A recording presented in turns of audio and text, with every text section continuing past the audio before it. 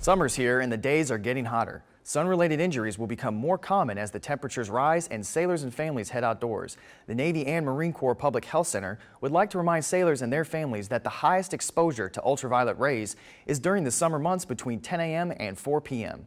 Excessive exposure to heat may cause dehydration as well as heat-related ailments such as sunburn, rashes, cramps, exhaustion, or heat stroke.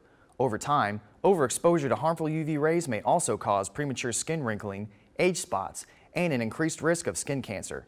For those who work under the summer sun, apply sunscreen with a sun protection factor of at least 15 every two hours and never use sunscreen that is more than one year old.